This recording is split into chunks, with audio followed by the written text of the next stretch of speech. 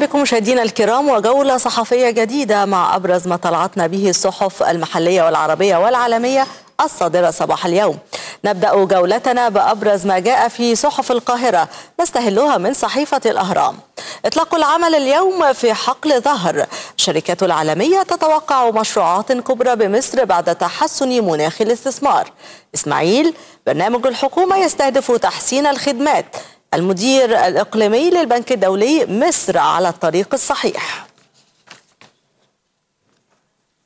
من صحيفة أخبار اليوم نتابع تفاصيل برنامج الحكومة أمام النواب. السيطرة على عجز الموازنة ومواجهة البطالة وجدول زمني للانتهاء من المشروعات الكبرى. خطة أمنية لمنع الفوضى في ذكرى الخامس والعشرين من يناير.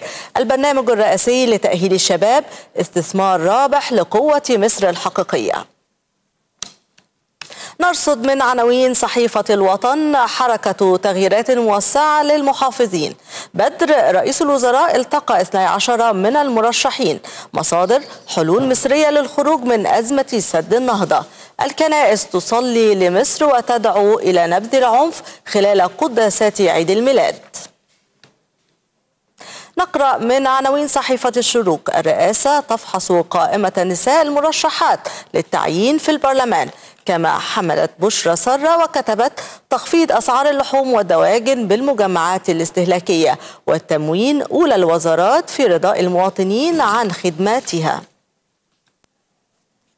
في افتتاحيتها دعت صحيفة الجمهورية إلى ضرورة العمل والإنتاج مؤكدة أن عام 2016 سيكون بحق عام الأمل والتحدي والرخاء وقالت لم يعد أمام المصريين سبيل إلا العمل والإنتاج لمواجهة التحديات التي تحيط بنا من كل جانب. ولعل عام 2016 بما يحمله من نسمة خير يؤكد أننا نسير في الطريق الصحيح. فموافقة البنوك العالمية على إقراض مصر وثبات تصنيف اقتصادنا دوليا وتهافت الشركات العابرة للقارات على الاستثمار في مصر كلها عوامل تؤكد أن اقتصادنا رغم كل العثرات يسير في الاتجاه الصحيح. ويتكامل هذا كله مع الانتهاء من استحقاقات خارطة المستقبل بنجاح شهد به الأعداء قبل الأصدقاء. 2016 بحق هو عام الأمل والعمل والتحدي ويجب أن يكون كذلك. الثورة وأرواح الشهداء تحت هذا العنوان. دعا الصحفي عمر حسنين في عموده بصحيفة المصري اليوم إلى إبقاء ذكرى الشهداء من الثوار وحماة الثوار نصب أعيننا فهم الذين ضحوا بأرواحهم فداء للوطن. تقترب ذكرى الثورة وتتداخل أشياء لكن يبقى الذين ضحوا من أجلنا جميعا الذين وقفوا في وجه الفساد وتحدوا الطغيان وأسقطوا دولة الظلم لتشرق علينا شمس الحرية والبناء. تقترب ذكرى الثورة وأرواح الشهداء من الثوار وحماة الثوار. تبقى بيننا شاهدة على الذين دبروا القتل والفتن والمؤامرات. واليوم يحاولون إحياء الفتنة من جديد. وإرهابيون يقتلون ويخربون. لا الشعب ولا ثواره يريدونكم ولن تخدعهم ألاعيبكم. حريتنا ملك يدينا وكرامتنا في عنان السماء. ورغد العيش نتيقن أنه سيتحقق بالبناء والعمل الذي يمتد في ربوع الوطن.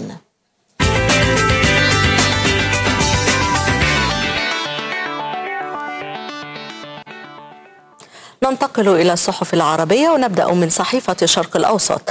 وزير الخارجية الليبي تشكيل المجلس الرئاسي خلال 30 يوما والأمم المتحدة لما تعين الحكومة. جنيف ثلاثة يترنح بعد مقتل زعيم ما يسمى بجيش الإسلام. دمشق خالية من داعش بعد اتفاق لخروج أربعة ألاف مسلح من محيطها. البطريرك الماروني بشار الراعي يدعو للالتقاء حول المبادرة المدعومة دوليا لانتخاب رئيس لبنان. نقرأ من صحيفة البيان الإماراتية. الاحتلال يعدم امرأة فلسطينية بالضفة الغربية. شهيد في غزة ويوم دام يسقط عشرات الجرحى. بيت لحم تحيي أعياد الميلاد بلا احتفالات. داعش يفخخ المباني لإيقاف توغل الجيش في الرمادي والعراق يلوح باستخدام المقاومة ضد تركيا. من صحيفة القدس العربي نتابع ردود فعل متباينة تجاه دعوة البرزاني لاستفتاء استقلال إقليم كردستان العراق. والصحف العراقية تنتقد الحكومات الكرتونية على حد وصفها. مقتل ستة مدنيين وجرح ستة عشر آخرين في قصف للحوثيين وقوات صالح على الأحياء السكنية بتعز. البشير يتوقع الوصول لاتفاق وشيك مع الحركة الشعبية والأخيرة تنفيه من صحيفة الراية نرصد المتحدث باسم الداخلية التونسية يحذر عودة أكثر من ستة 600 مقاتل تونسي من سوريا. قوات شرعية تتقدم نحو صعدة وصنعاء وتحبط هجوما للانقلابيين. البحرين تتهم إيران بالتدخل غير المبرر في الشؤون العربية. إلى مقالة الرأي بالصحف العربية ونبدأ من الخليج الإماراتية التي سلطت الضوء على الأوضاع المأساوية التي تعيشها ليبيا ومحاولات إنقاذها من الفوضى التي تعصف بالبلاد منذ إسقاط نظام القذافي وأضافت. هناك محاولات لإنقاذ ليبيا من مأساتها المتمثلة في الفوضى وسقوطها بيد الميليشيات والإرهاب. الدول الغربية بدأت تبحث عن حلول تداركا لخطر الإرهاب الداهم بعد أن أدركت سوء صنيعها وتم تكليف الأمم المتحدة بالبحث عن الوسائل التي قد تؤدي إلى حل بين المجموعات المتصارعة التي حولت ليبيا إلى مسرح للعنف والاقتتال الذي قود مكونات الدولة. لذلك قادت المنظمة الأممية المفاوضات التي انتهت باتفاق الصخيرات لكن لابد من نزع سلاح الميليشيات من أجل استعادة الأمن والسلطة الشرعية. يسود على المستوى الدولي رغبة شديدة في احتواء فوضى الشرق الأوسط بشكل سريع بعدما بدأت هذه الاضطرابات ترمي بشرارها في قلب العواصم الأوروبية. صحيفة رياض السعودية ركزت على هذه القضية وكتبت بعد اعتداءات باريس الإرهابية أدركت أوروبا أنها أمام تهديد استهدف أمنها بكثير من الإصرار. وخروجا على كلاسيكيات الأداء السياسي والعسكري التي صاحبت فوضى الربيع العربي بريطانيا وألمانيا ورغم تحفظهما على أي تدخل عسكري بالمنطقة أقر بسرعة الاشتراك في الهجوم على داعش. من هنا يمكن القول إن القناعة الدولية باتت أكثر رسوخا بأن المنطقة لا تحتمل دخول أي دولة فيها. دون صراع قد يؤدي إلى عواقب مماثلة كما في سوريا والعراق بل إن الضغط الدولي سيكون حاضرا من أجل استقرار المنطقة.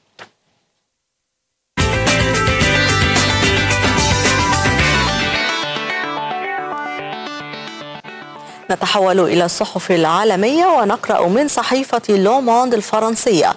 متظاهرون يقتحمون قاعة صلاة للمسلمين بجزيرة كورسيكا التابعة لفرنسا. ويحرقون المصاحف ويكتبون عبارات معادية للعرب. رئيس وزراء فرنسا يدين الهجوم. مقتل زهران علوش قائد أقوى فصائل المعارضة المسلحة في دمشق في غارة جوية روسية استهدفت مقرا سريا للجماعة. أزمة اللاجئين رصدتها صحيفة الجارديان البريطانية وكتبت اللاجئون في مخيم كالي الفرنسي يعيشون ظروفا قاسية وفي غياب دور الحكومي. المخيم شبيه بأحياء الصفيح العشوائية ويأوي ستة ألاف شخص يقيمون على أرض مهجورة لا وجود فيها للماء ولا للطرق أو البنية التحتية. الأمم المتحدة ومنظمة غوث للاجئين تغيب عن هذه المأساة. نرصد من صحيفة واشنطن بوست الأمريكية تنظيم داعش يحاول توسيع أرضه عن طريق تأسيس فرع في الصومال يطلق عليه مقاتلو الإمارة الصغيرة. وحركة الشباب الصومالية المرتبطة بتنظيم القاعدة تهدد من ينضمون إلى داعش بالقتل. نتابع من صحيفة آل بايس الإسبانية في خطوة تهدف لحصول البلاد على المساعدات الضرورية من صندوق النقد الدولي. أوكرانيا توافق على ميزانية للتقشف. والبرلمان يقر ميزانية عام 2016 بعجز 3% في أول زيارة من نوعها منذ أكثر من عشر سنوات رئيس وزراء الهند يزور باكستان.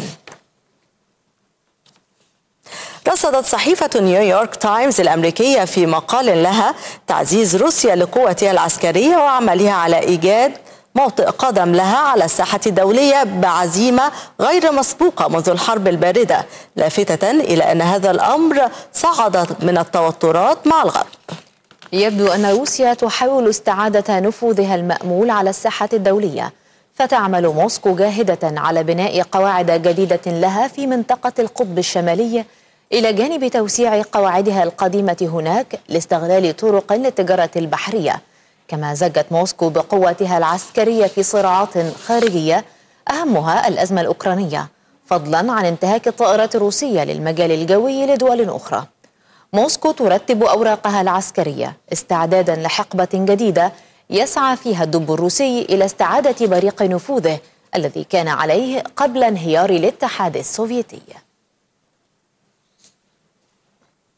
من جانبها كتبت صحيفة الإندبندنت البريطانية في افتتاحيتها مقالا حول محاولات ودعوات البعض في أوروبا لحظر المسلمين مؤكدة أن الذين يمنعون المسلمين من دخول بلدانهم يشجعون تنظيم داعش ويدعمون أفعاله وأضافت.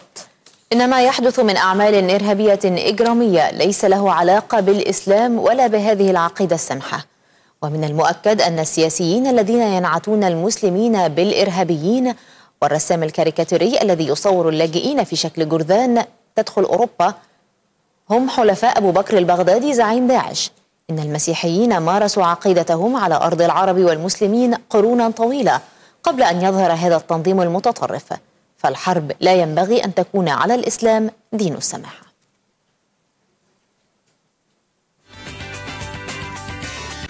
مشاهدينا الكرام هذه وقفة مع رسوم الكاريكاتيرية الأبرز في صحف اليوم.